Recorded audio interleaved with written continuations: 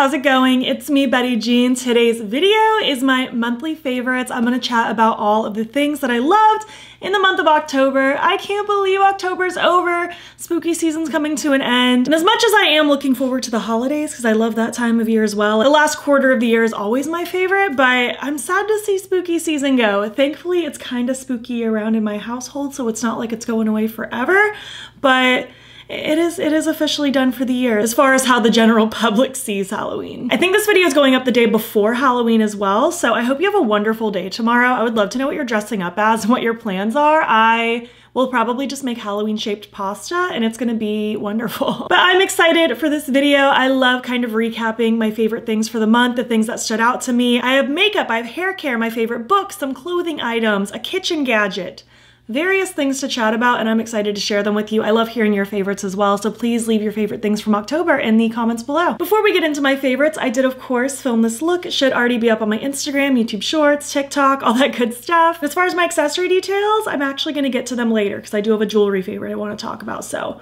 stay tuned. But without further ado, let's just hop into my October favorites. I have some really good things from this last month. Let's kick it off with makeup. I feel like that's always a good place to start. We'll just go in the order that I do my makeup. The complexion thing that really stood out to me is the Physicians Formula Butter Glow Liquid Highlighter. Linda from Glitter Fallout got a bunch of Physicians Formula goodies when she went to Creators and Friends back in September, and when I visited her early in the month, um, she had some extras of different things, so she gave me this one and I've been loving it. If you know, you know, I'm very picky when it comes to liquid and cream highlighters. I feel like they're either not enough or they move my makeup around. And I feel like this is like the best of both worlds. It gives such a beautiful glow on the skin. It does not move my makeup around at all. I can also mix this in with foundation. That's what I did today.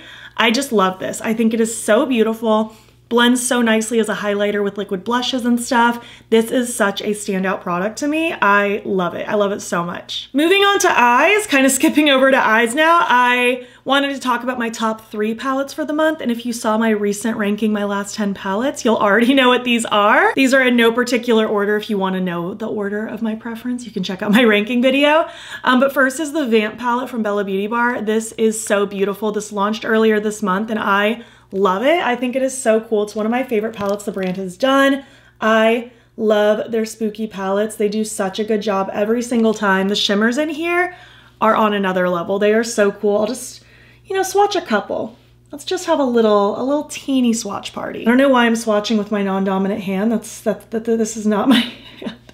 I feel like I can't even make a straight line, my goodness. But just look how cool these are really reflective, multi-chrome. Some have kind of that holographic reflect as well. This is just such a cool color story. I love the vampire theme. It just brings me a lot of joy and these colors are just so, so fun. I love red and purple together. I never get sick of it. I just think this was such a winning palette for October. I've also been loving the Calavera palette from Gourmande Girls. I think this launched at the tail end of September, but I mostly used it in October. It's a tribute to the owner's grandparents and kind of an homage to like Dia de los Muertos, Day of the Dead, and it's very, very cool. I think this color story is so fun. It's such a good combination of brights, like borderline neon in some cases, and pastels, and then darker grungy shades. And these shimmers are the best shimmers that the brand has ever done. Let me use my actual dominant hand to swatch some of these. This shade in particular, it's like really marbled and super cool. We'll do this really prominent red as well. I don't know what they did different in this palette, but these shimmers are just like on another level. I feel like their shimmers have always been pretty good, but these ones are just like extra glossy, extra shifty, extra shiny. They are so, so pretty. I feel like the camera isn't even doing these justice. I've had so much fun playing with this palette. Every time I use it on my eyes, I feel like I just love it more and more. I feel like it's so playful and so fun. I feel so creative when I use it. I feel like there's an endless amount of color combos without it just being a basic rainbow palette. They did such a good job with this. Definitely one of my favorites the brand has done. And last but not least is the collab between Blend Bunny and Robert Welsh, the Divination. They killed it with this collection and this palette is such a standout to me. It is so pretty. Such a good combo of like pastel meets grunge. And again, the shimmers are on another level. I don't know what they did, but these are like ultra sparkly. Let's just like grab a couple, a couple random ones. Oh, they're just so wet looking. Look at that. They're just so glossy looking and so pretty. I feel So cool when I wear this palette. The shimmers are just like ultra, I don't know, just glossy. That's my favorite word to use for this because it's not like they feel sticky. They just look wet. They are so cool, so pretty. They did such a good job on this collaboration. I've had so much fun playing with this. I love the witchy vibes. I love the grungy tones. I love like a green, blue, purple, like kind of situation. And this is just super, super cool. So huge congrats to the brand and Robert, you guys did so good. Still sticking with eyes, Menagerie sent over some of their newest Moonlit Metal toppers that I did not have in my collection. And honestly, I love all of these and I just feel like I have to talk about them. I'm actually wearing three of them on my eyes today, kind of like in the outer, inner, and then inner corner. And I've used all of these. They're so pretty. I love their toppers. They're so, so cool. This one's the shade Atlas Moth, just like a super fun kind of like, like bluey, bronzy. It's just so, so gorgeous. I love the effect of these. They're so shiny and they stay put. Like once they're on and they've dried, which is pretty fast, like enough time to work with them if you're trying to blend the edges, but they dry down pretty quick and then they do not move at all. These are so, so pretty. I've used these as liner. You can also use them as lip toppers. They're very cool. Pineapple Conure is so fun. That's the one I have on the outer half of my eye. It's on top of a black base, but it's very cool. Has like a really fun kind of yellow to pink shift. Oh, they're just so, so fun. Smooth, sparkly, enchanting. I love them. This one is Ibis, this red. I love this red. I did kind of like a soft red look with this over on like Instagram, YouTube Shorts, TikTok, and it was so, so fun. I just love, like this metallic red is so cool. Lovebird is what's on the inner half of my lid today. It's so pretty. Just kind of like a soft blue, pink, a little bit sea foamy. It's a very interesting shade. I feel like this one has the most shifts. It's just so, so cool. It's like so hard for you to see all the shifts that are going on, but these are magical. And then last is the one that's in my inner corner. It's so cute. This one's Willow. It's just the most charming little like, you know, kind of white gold, but also a little pinky purpley when the light hits it just right very, very fun. I just wanted to shout these out. These bring me a lot of joy. I have so many of these and these new additions are fantastic. Moving on to lips, I just have one more makeup item and Menagerie did recently release five new fall liquid lipstick shades and they're all beautiful. They're all very cool. I did a lip swatch video on like my short form content if you want to see all the shades, but my favorite one is this one. It's in the shade Mother Earth. It is the prettiest, like, dark brown. Like this is a deep espresso brown. Like as you can see, like compared to my black top, it's not black, but it is a very dark brown. It is so pretty, like it almost looks black. It's right on the cusp. I just love this. I'm such a sucker for a deep brown lip. I think it's so pretty. I think it looks good on everyone. And I just love how dark it is. I love that it's like right on that cusp of almost being black. It is so pretty. I love their liquid lipstick formula. I've been using it for years and years and years. I reach for them fairly often and this one in particular brings me so much joy. Moving on to hair care, these are actually products that I've been trying for a while. I just forget to talk about like hair care favorites when I discover new things. It's like my hair world is so separate from YouTube. Like that's my day job. That's what I do in my salon suite all the time. And then I don't know, it's like my brain does not focus on hair when I am on YouTube at all. And I still have no intention on ever doing like hair related videos. I just am very content keeping that part of my life, just my separate career away from the internet in that way. But I do want to share personal hair care favorites here and there, and I'm finally remembering to share some recent ones. First being this Amika Reset Pink Charcoal Scalp Cleansing Oil. This is very cool. It's like on this little this little guy, and it's just like this jelly substance. I'll just take a tiny bit out. It's just like this gel. And what I do, I only wash my hair about once a week. Tomorrow is hair washing day, thank goodness. But because I only wash it once a week, by the time that day comes by, there's a lot going on in my hair. It's, it's a week old. There's probably lots of dry shampoo and various other products that I've used throughout the week. So my scalp needs a deep cleaning when the time comes. So what I do is I, whatever situation my hair is in, I take it down, brush it out, and then I'll go through, let me put the lid on so I don't squeeze it all over my hair, but I'll go through and kind of like squirt little lines of this gel all throughout my scalp, and then I massage it in. The gel kind of turns into a, not really a foamy substance, but it kind of emulsifies a little bit. So it you work it all through your hair.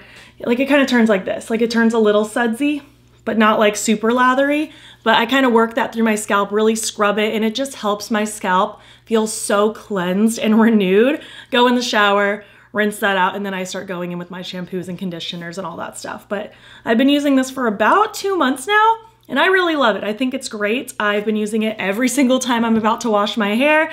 It just makes my scalp feel so extra squeaky clean after not being washed for a week. And then another recent favorite that I've also been using probably about the same amount of time is the Joico Defy Damage Sleepover Overnight Nourishing Treatment. It looks like this. It is so good. I love Joico. I love the Defy Damage line. It is so good.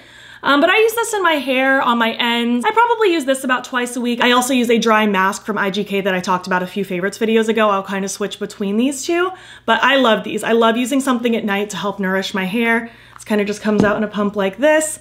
And I'll, I'll usually do a few pumps in my hands, kind of rub it through, and then I work it through my ends, not on the scalp, but just on the ends, brush it through. And then when I wake up the next morning, my hair feels so soft.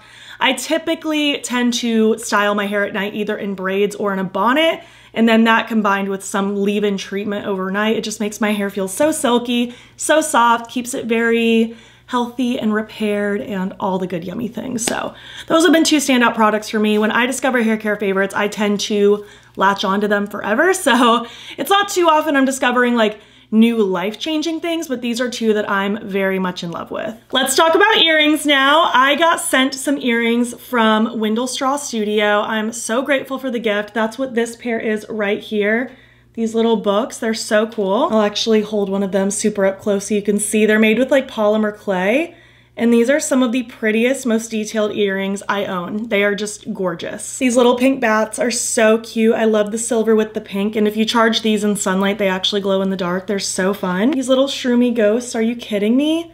They're so stinking cute. I love them. These ones are so fun. I've gotten a lot of compliments when I wear these. These like little bat plaques and they're kind of multi-chrome. They go from like green to purple.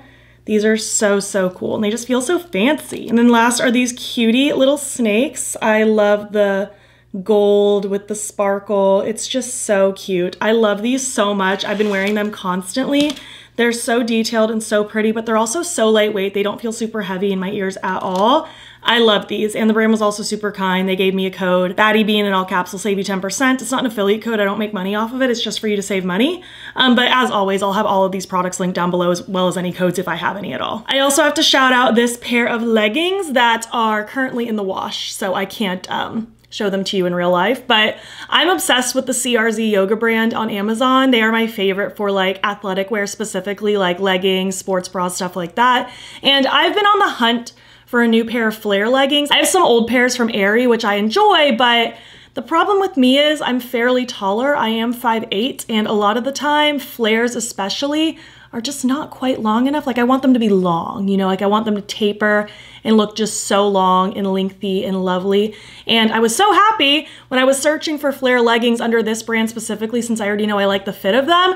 They make this specific style with different lengths. So that makes me so happy. I ended up buying just the longest length that they had and they are perfect. They are so cute, so flattering, so comfortable. I already ordered another pair. They'll be here soon. So yeah, I'm obsessed with these. I cannot get enough. I'll probably order more pairs, honestly. I just want to live in them. They are so cute and comfy and I, I just love. I love this brand and I love these leggings. And last fashion favorite I have is a pair of shoes and I've been kind of itching for a pair of Birkenstocks for a while, but I just never did because one, I do think they're kind of ugly. Like they're cute ugly.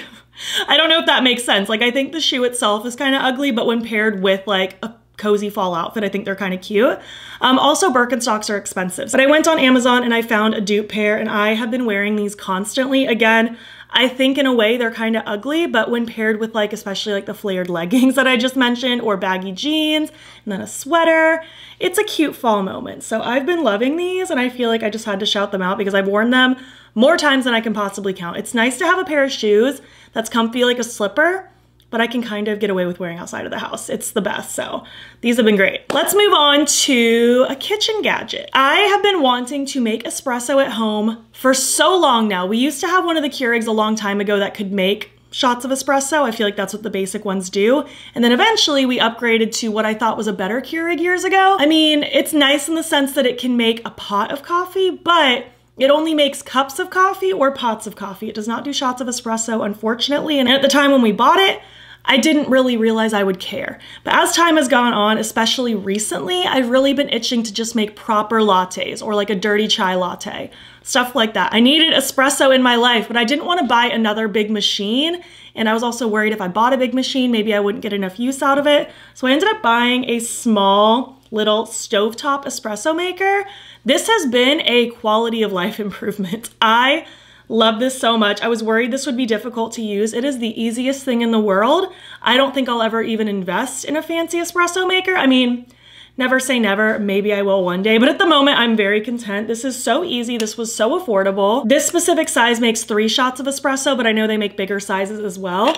But it just kind of comes apart like this. I used it literally this morning. I've used it every morning since I got it about two weeks ago. You take this little guy out, you put water in this up to like the knob, and then you, you put this guy on and then you put your espresso in it. I've been using Cafe Bustelo, but if you have recommendations, let me know. I feel like I'm on my espresso journey right now, so I would love to hear what your favorite recipes are. And then you just screw this on and you stick it on the stove on like medium heat and like 10 minutes later, this is full of espresso and it's fantastic. It's wonderful. My drinks in the morning taste so much better. I'm such a big fan. I haven't even touched my Keurig in the two weeks since I've had this. I just love it. It's so easy. I love just taking a minute to prepare it. I let it sit for 10 or so minutes and then it's just ready. So easy, so wonderful, literally a quality of life change. And I think the only other thing I want to talk about is my favorite book of the month. I don't want to drone on and on too much about multiple books just because the video after this is most likely going to be my reading wrap up Get Ready With Me where I chat about all the books I read in October and do my makeup and give my non-spoiler thoughts on them. So if you're interested in that, check that out. That'll be super fun. I actually ended up having three five-star books so far for the month. There's still a few more days left in the month, so things could change. But as of right now, I have read three five-star books, which usually I maybe get one. I do find a lot of four stars, but a five star, I just have to get a special feeling in my soul to give it a five star. Um, but I'm not gonna talk about all three of them. I'm just gonna talk about my ultimate favorite of the three. And that is V.E. Schwab's The Invisible Life of Addie LaRue. This was so good. I just finished it yesterday, and this was such a magical experience.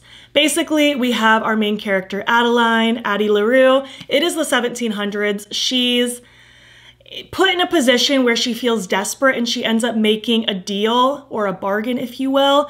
And things get twisted, she ends up being cursed to not only live forever, but to also be forgotten. Anytime she meets someone, it's like they're meeting her for the first time. As soon as she's like out of their vicinity, they immediately forget about her. She's unable to leave any sort of mark. She can't write things down. She can't say her own name. Everything about her is just forgettable. She might as well be invisible, if you will. And throughout this book, we're getting kind of past and present timelines. We're going through like different stages over multiple centuries when she's first curse and all of her adventures beyond that, and then more present time, which I think this book was set in like 2014. She's just doing her thing in New York, her day to day. She's meeting people, they're forgetting her, she's meeting them again, stuff like that. She ends up meeting somebody for the first time ever who actually remembers her the next day. So this was just so cool. It was whimsical and magical, kind of adventurous with all the different things that are going on throughout centuries of her life. It's also romantic.